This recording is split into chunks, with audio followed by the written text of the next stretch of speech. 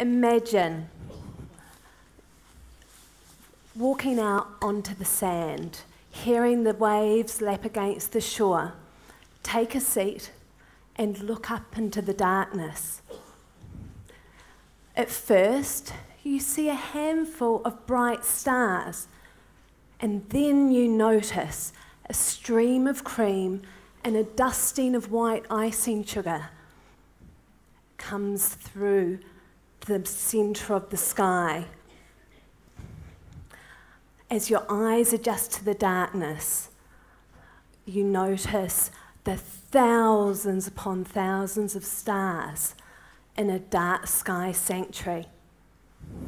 My name is Deborah, and I have the pleasure of this beautiful scenario being part of my story. I came to Aotea, Great Barrier Island, in 2014. I just got married, I was newly pregnant, that's my little boy there, and I was very excited to be making my home in this pristine environment. I've been raised in rural New Zealand, and you know, I had grown up riding horses, and in the evenings, I would look at the stars. I loved them.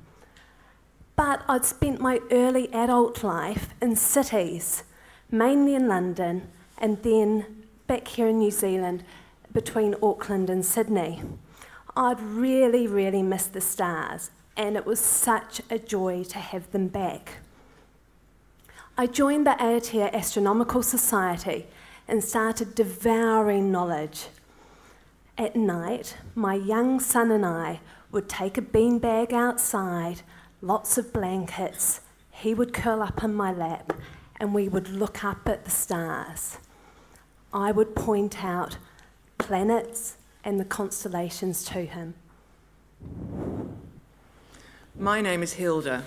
It is my pleasure to be living on Great Barrier Island, to call New Zealand my home, and to be here today with you. I came to New Zealand from the Netherlands in my late 20s. I went on the, on the boat to Great Barrier Island, and on the boat, I met two guys. One was Swiss, and the other one was Welsh. And they became my buddies for the days we spent on the island. We went to beaches together, stunning, lonely beaches, soaked in the hot pools, surrounded by lush bush, and hiked Hirakimata, Mount Hobson, to have a look at the amazing view from the top. We hitchhiked everywhere. But one night, we wanted to go to the pub and no ride was found. So we walked there and it took us a while. Um, so when we got there, the guy suggested that I chat up a local to give us a ride back. So I did that, and that was Roger. And 20 years on, Roger and I are still together, living, living on top of the cliffs above Schooner Bay, looking out to Hauturu, Little Barrier Island. No, the jump from the Netherlands to Great Barrier was a big one. In Western Europe, light pollution has taken away most of the magic of the night sky. And um, so, like for many people in light polluted places, I hadn't been aware what I was missing. Um, my Milky Way was a chocolate bar. so, arriving at Great Barrier under these really dark skies, I was just in awe of what was above me. Um, and um, a couple of years ago, when uh, the dark sky application, word of the dark, dark, sky application spread, I became a member of the Great Barrier Astronomy Club, and that's where our stories joined. Yeah. So, Great Barrier has stunning beaches, mountainous terrain, and lush bush and it's always attracted visitors. And tourism is a really important part of our island's income stream. This has led us to think strategically about the type of visitors we would like to attract to our island. Last year, when we became a dark sky sanctuary, we told the world that our island is special. It is incredibly dark. In fact, as Richard told us before, a sanctuary has the darkest readings of all the dark sky places. in the world. There are over 100 dark sky places, but there are only four dark sky sanctuaries. And because Great Barrier Island is so dark, it's the perfect backdrop spectacular stars. Great Barrier Island is so dark because it's got plenty of ocean around it, so that the light dome from Auckland just can't touch us, as Richard has just explained as well. The island is also sparsely populated. On an island of 50 k's long, there's only just under a thousand people, so that uh, works to our advantage as well. Um, and we're all off the grid, so every household on Great Barrier Island generates its own power, which means that we are frugal with our power. We use 5 watt light bulbs, we turn lights off, if we don't use them. We hang our washing on the line, and we tell our children that they can't watch telly because there's not enough power.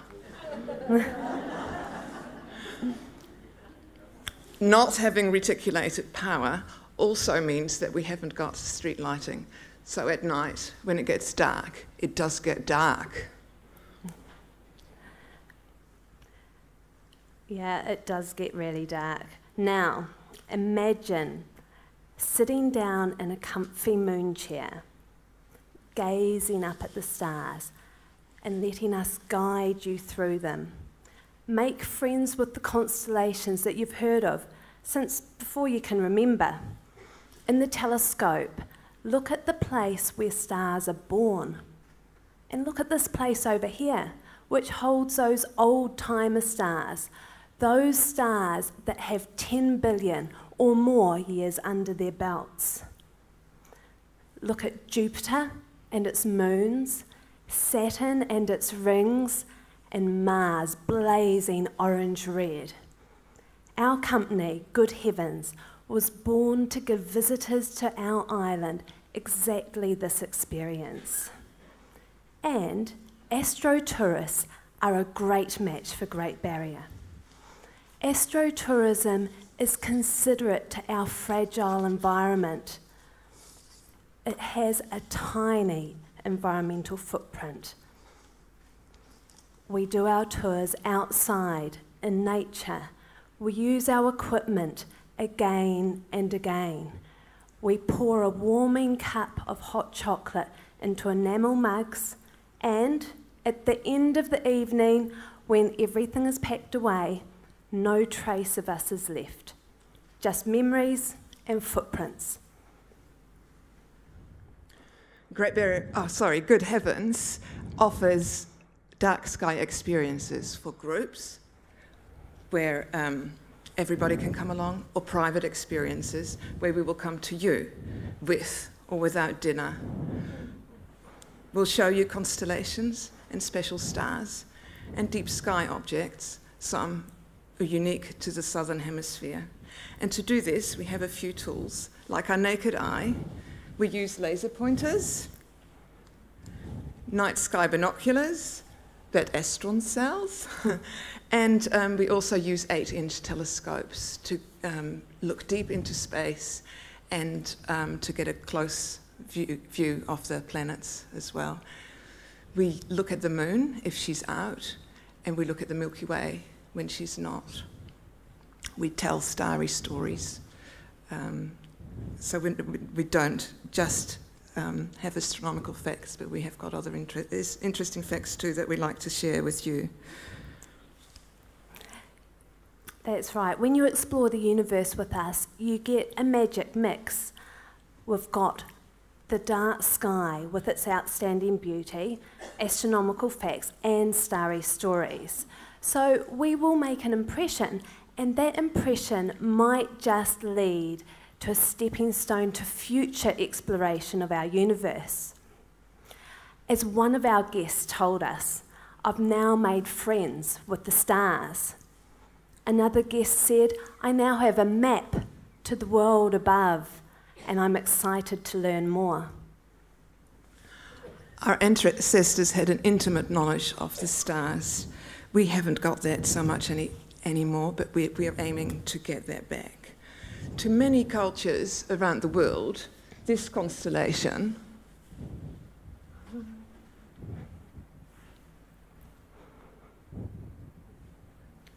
is. Oh, you can, can you tell that? Yeah, so this constellation here is that of the scorpion, Scorpius. But in New Zealand, where scorpions are lacking, we see something different. We see, um, in this star pattern, we see the fishhook that Maui used to pull to the surface a giant ray, Te Ika a Maui. Before he could even haul it into the boat, his greedy brothers chopped gullies and mountains into it. And that was before this giant ray, this Te Ika a Maui, became the North Island of New Zealand.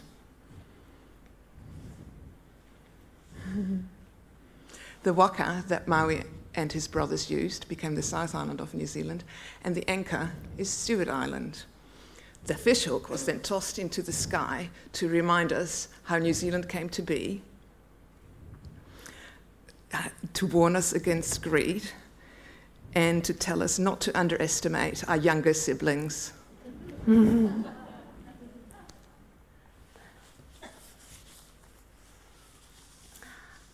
And this is the constellation Crux, better known by, I'm sure, everyone in this room as the Southern Cross. It's got four bright stars, it's a distinct cross shape, and it points to the south celestial pole. Useful, especially if you don't have a compass in your hand. So there's a few different ways that we can find the south celestial pole using the Southern Cross. I'll show you my favourite.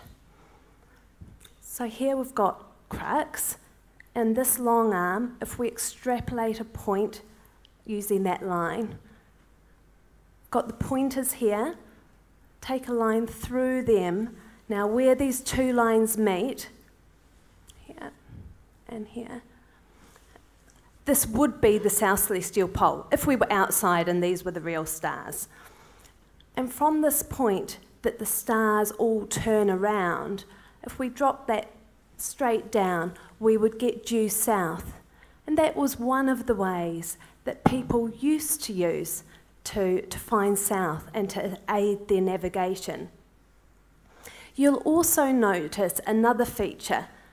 This area here, it's really dark. It's called the Coalsack Nebula. This nebula is a dense cloud of gas and dust and it obscures all the light from the stars behind it. The story of the stars changes with the seasons. Constellations cycle through the sky, and planets wander amongst the stars. Good Heavens, as a tour company, has just completed its first year of journeying through the universe.